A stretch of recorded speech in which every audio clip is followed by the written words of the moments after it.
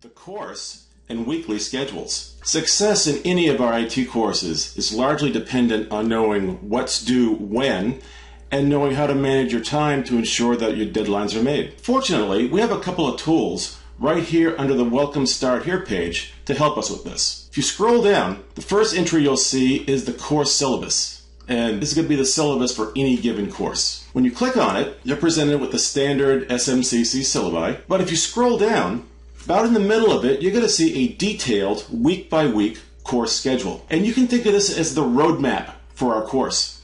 It breaks everything out by week, telling us exactly what our assignments are, what we need to read, what we need to submit, outlines when quizzes and exams are due, projects, and even the final exams. If this is our weekly schedule, how does this translate to actual calendar days? Well, again, under the Welcome Start Here page, you're going to find a semester calendar. If you click on this link, this is just a regular week by week calendar that outlines the start and stop of every week. For example, week one started on Monday, since it was the first week of school, and ends on Saturday.